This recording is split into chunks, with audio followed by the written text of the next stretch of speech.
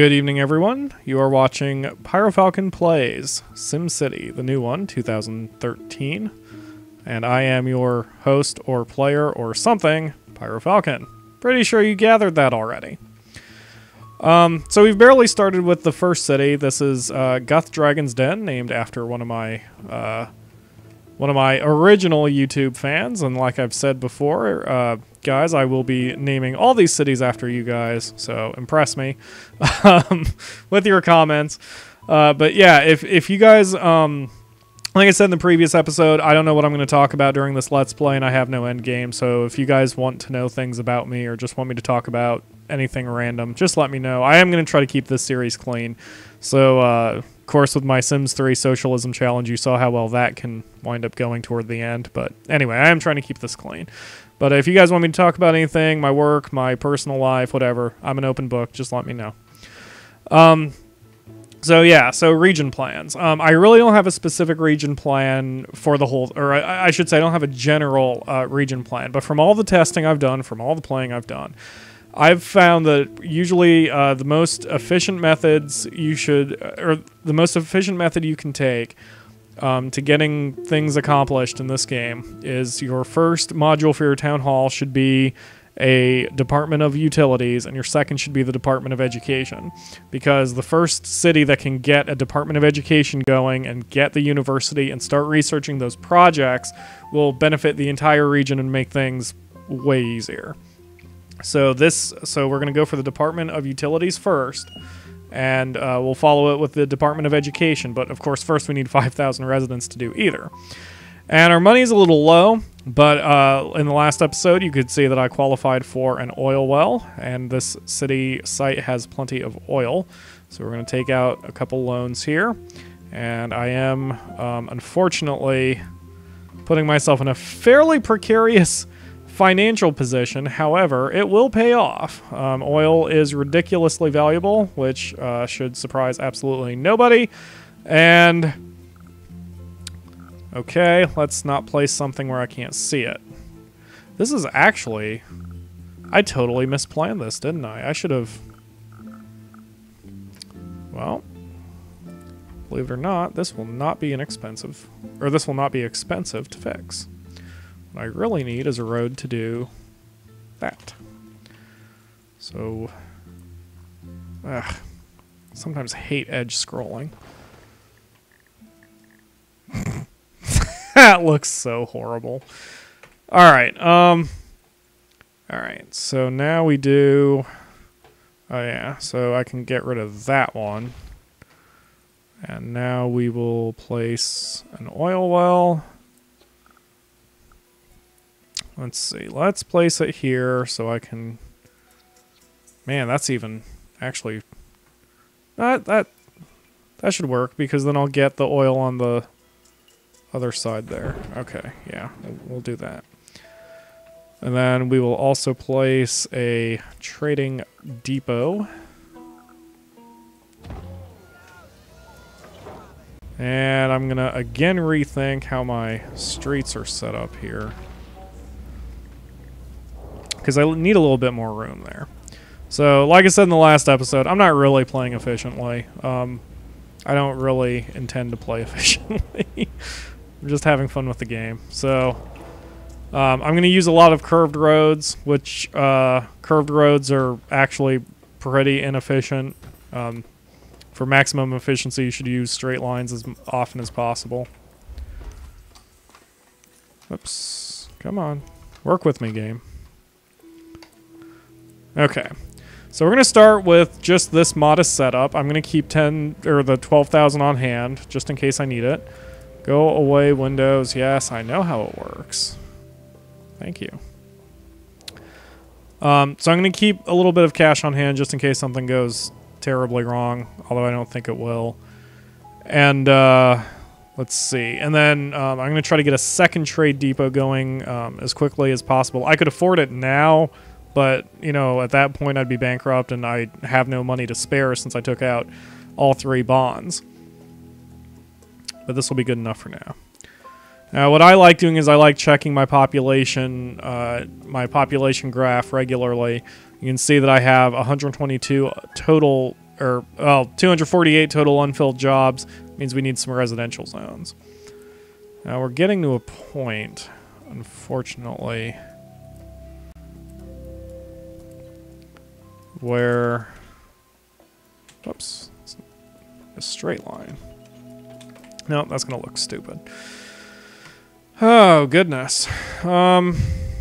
Oh, I didn't realize there was a path right there. Hmm. That will probably cost me some cash.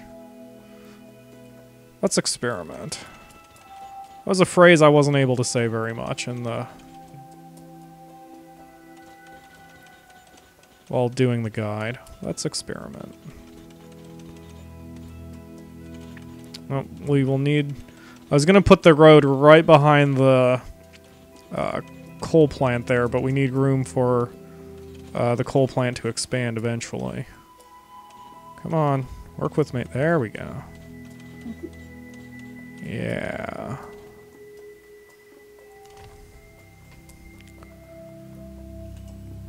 Okay, and now...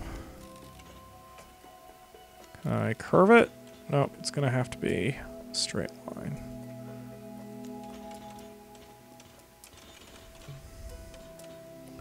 That would be okay. What I'm to do is get some uh, beachfront property going on here. Let's see.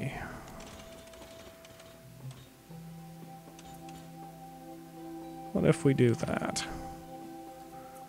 And I'm losing, see my, my problem, what I was fearing is that I would lose way too much money doing this.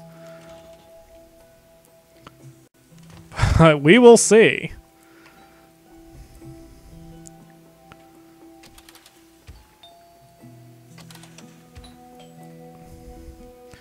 One thing I like about the new SimCity. The zoning doesn't cost any money, which makes sense, you know? I mean, ultimately, zoning, I mean, in real life is just, you know, some boundary lines on a map, so obviously it should not cost money to zone.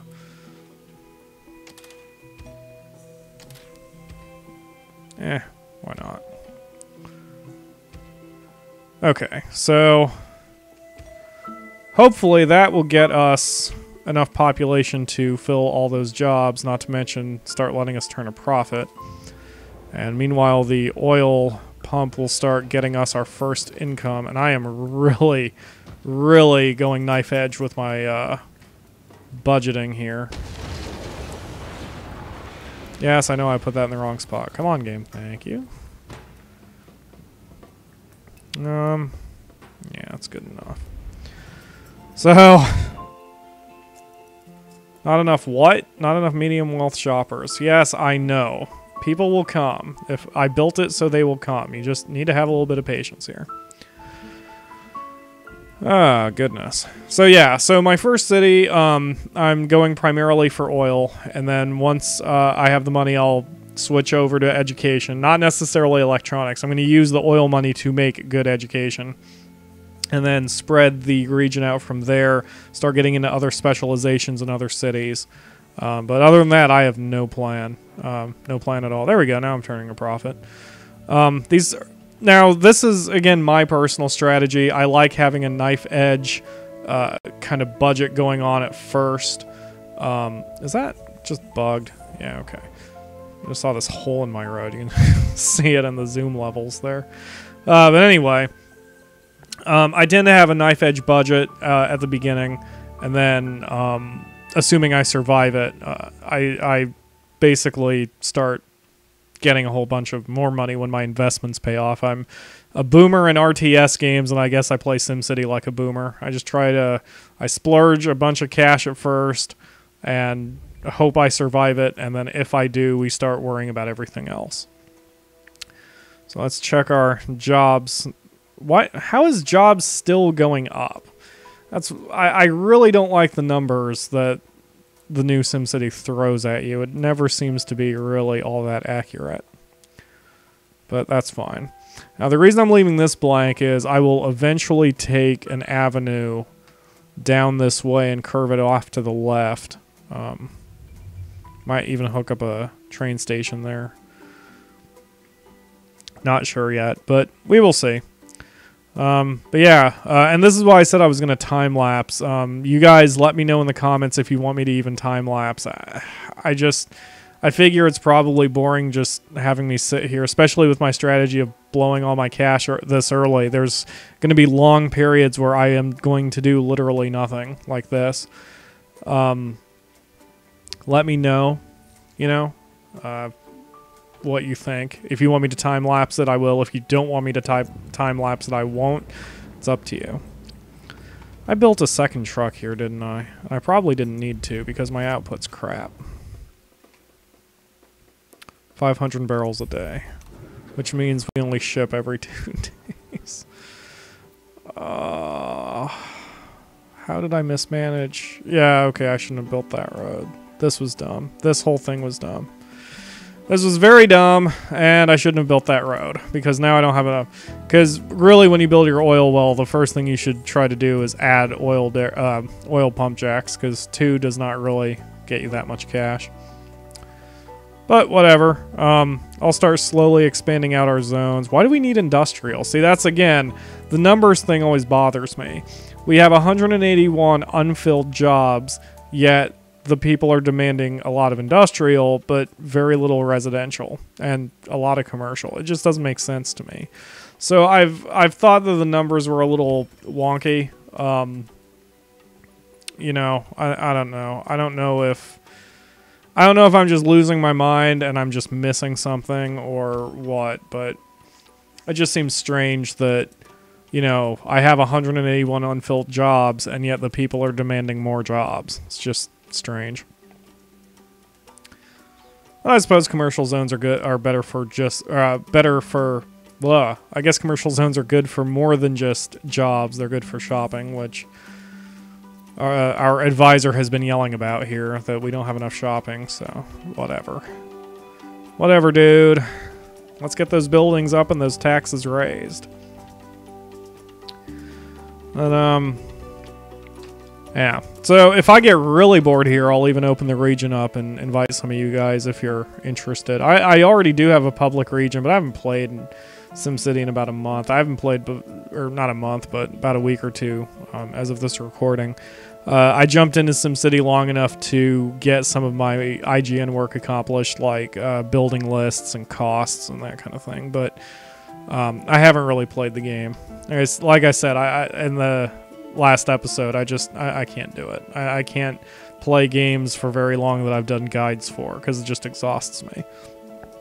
I guess I always look for new challenges. I don't know if that's good or bad. You know, um, I've never been exceptionally good at any one game except Final Fantasy VI. Uh, especially not competition games because I never train long enough to get good at a game. I just play it for about three months and I'm done and I move on to another challenge. I just like new challenges, for better or for worse. So um, in fact, honestly, as I'm doing this, uh, part of me is screaming at me to play uh, uh, uh Naruto. Um, I got the new Naruto game. Uh, the let's see, uh, Naruto Shippin, Ship Shippin Shippin Ultimate Ninja Storm 3, sweet fighting game. Um, figured I'd pick that up after I saw the Game Grumps have some fun with the one before it. Yes, I will do that, I promise, but I can't do it now because we have no cash. Oh, that wasn't even a quest. He was just yelling at me. Jerk. I'm the mayor. Yeah. Anyway. Um, so it's almost 15 minutes, so I'll close out the episode. Thanks for watching. Um, like I said, the, the first couple episodes here are probably going to be uh, pretty dry um, until we start getting some cash flowing, and it might take a little while. So um, man, I could have planned this better. Oh well, it's what I get for not playing it for over a couple weeks. Anyway, I'm PyroFalkon. You can always follow me on Twitter at that name. Uh, get updates on my latest videos and such if you're not already a subscriber. So thanks for watching, guys. We'll see you tomorrow. Bye.